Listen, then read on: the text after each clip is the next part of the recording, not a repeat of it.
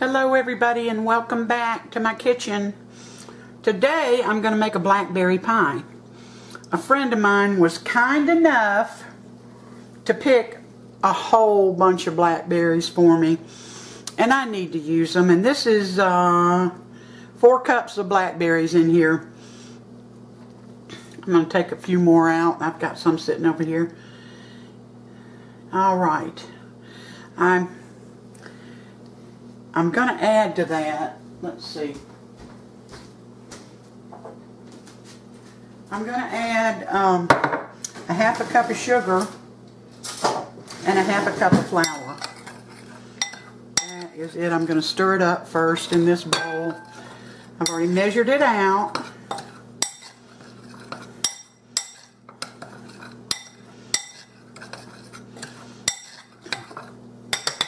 Pour it over these blackberries.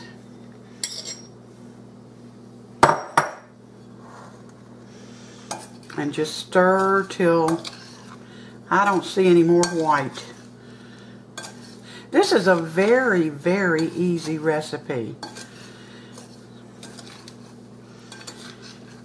You know, I look up a lot of recipes. Y'all know these aren't my recipes. They're just recipes that are good that other people have tried and and I'm giving it a whirl. Now, when I have a recipe that's my own, I will tell you. So I'm not trying to fake anybody off here. We're just stirring up these blackberries.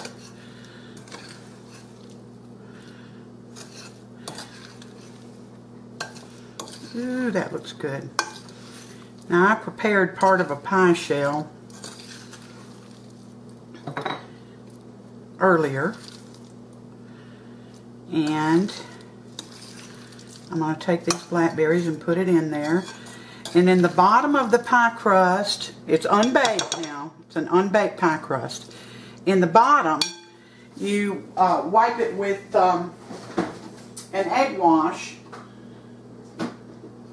so that it won't get soggy. And when you look at this, you'll see that I did that already. I'm going to kind of spread it out a little bit. All right. Here it goes. This is a 9 inch pie shell. And I made the crust using the easy flaky crust recipe that I have on my website if you want to look it up because I was not going to the store and buy a pie crust when I could make one here for a little bit of nothing.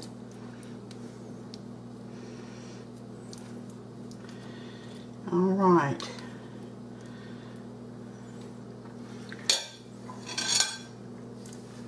I'm going to squeeze a little bit of lemon over this. Can y'all see me?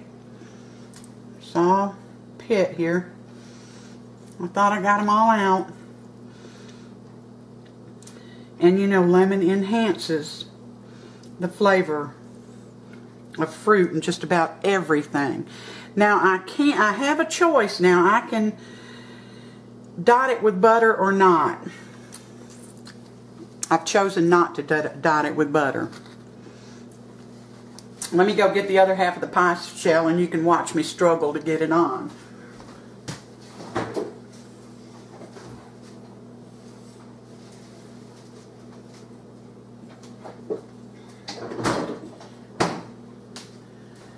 And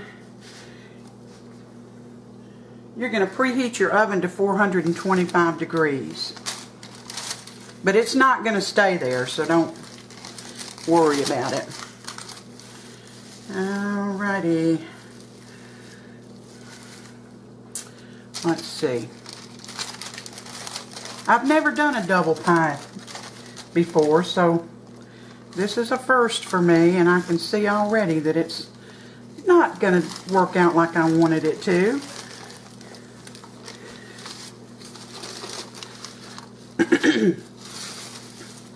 it split, but we're going to fix that.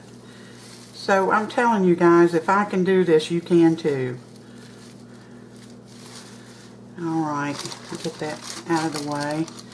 Get the pie crust that stuck to the wax paper off, which is actually under it. Got to get it out of there. There we go. Alright, now you see that this is all split, but we're not going to worry about it. I'm going to fix this pie. And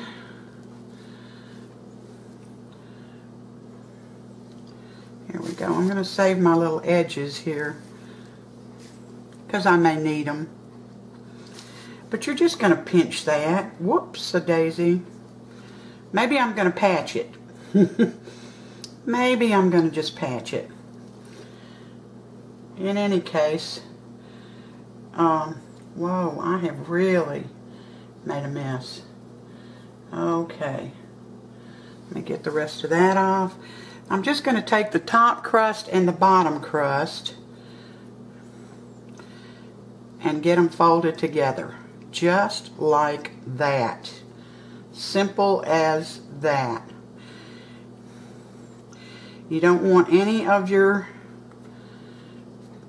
uh, filling to ooze out the sides. So we're going to take care of that right now. I think I what I did was get my top crust a little bit too thin. So that's why it didn't behave nicely. But you know, this is for my family. I'm, you know, I'm not serving the president or anybody that important.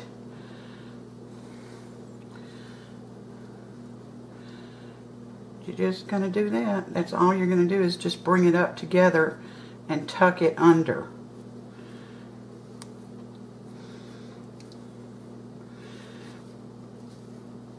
It's got a little bit too much on there. Can y'all see me?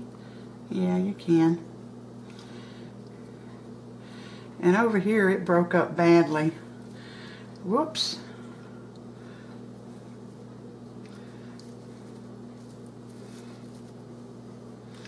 See, it would have been easier to just do this with a fork, but I'm not. I'm going to take some of